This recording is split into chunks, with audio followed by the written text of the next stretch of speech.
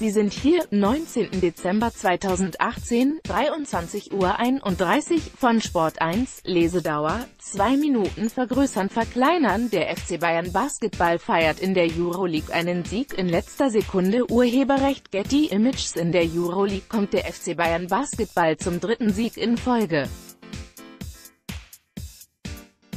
Gegen Armani Mailand setzt sich der deutsche Meister in der letzten Sekunde durch. Der FC Bayern Basketball feiert in der Euroleague einen ganz wichtigen Sieg. Bei Armani Olympia Mailand setzte sich der amtierende deutsche Meister mit 80 zu 78 durch. Bis kurz vor Schluss rannten die Münchner einem Rückstand von vier Punkten hinterher.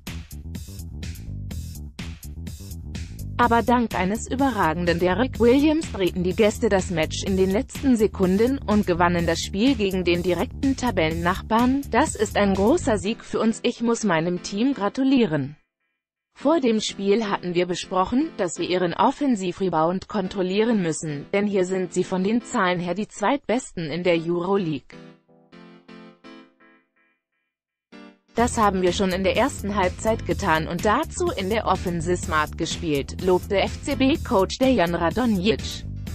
Bayern erstmals mit positiver Bilanz, in der zweiten Hälfte lief es dann, wie man es erwarten konnte, wir waren vorn, dann kamen sie zurück und am Ende war es ein enges Spiel.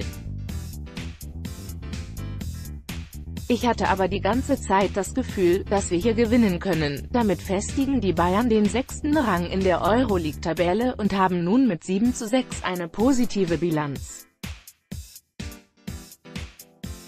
Service Euroleague-Tabelle im Sport 1 der TENCENTER Sport 1 ist die Nummer eine Plattform, wenn es um Live-Sport geht.